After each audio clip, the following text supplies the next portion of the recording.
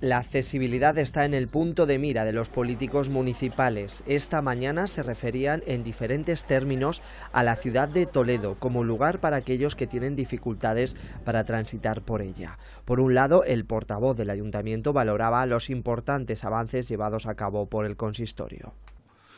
Y por eso creo que el esfuerzo que se ha hecho en los últimos años, muchos años, es, eh, ha sido continuo y pues prácticamente diría es eh, los bordillos, los vados, es decir, todas estas cosas se van superando y se van resolviendo.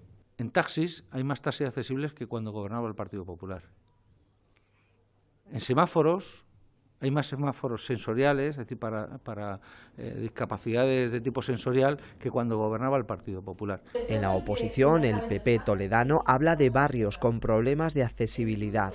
Como ejemplo, los populares hablan de Azucaica como zona olvidada, pero no la única.